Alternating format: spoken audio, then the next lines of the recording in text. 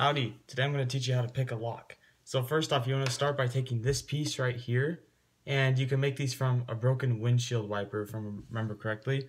And you want to take it, and you want to put the lock like this, and you want to put it so it's facing in the right side like that. For you guys, um, it's probably a left. But you put it in, and you want to push on it. But it'll be more comfortable to do it like this. And then you want to take this, I'm pretty sure you can just buy these and you take it and you put it in and you almost want to move it in like a motion where it's like you go down, forward, down, forward, down, forward. And then just keep doing that. Unlocks. It's pretty simple. Subscribe.